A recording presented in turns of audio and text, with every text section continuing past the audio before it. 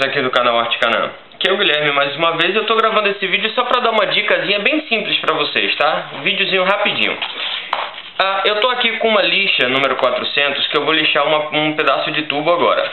Mas como é que a gente faz para usar melhor a lixa, para que ela tenha, para que ela não fique escorregando da mão, que não sei o que, e que ela tenha uma, uma, que você consiga utilizar melhor ela. Bom, primeiro você vai dobrar ela aqui, ó, tá? Certinho, tá pessoal? Ó. Dobrou. Depois você vai dobrar mais uma vez no meio.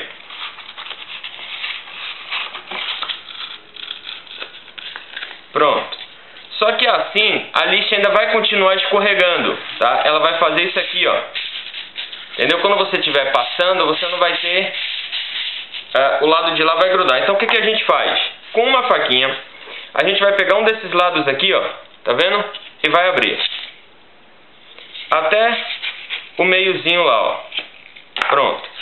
Agora a gente vai abrir a lixa toda de novo. O que, que a gente vai fazer? Fecha aqui.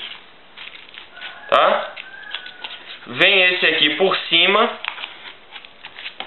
E aí desce. Pronto.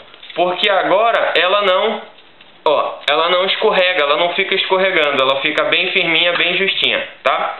Tá aqui mais uma dica para facilitar o trabalho de vocês aí. Bom, eu vou ficando por aqui, obrigado pessoal, e fiquem com Deus.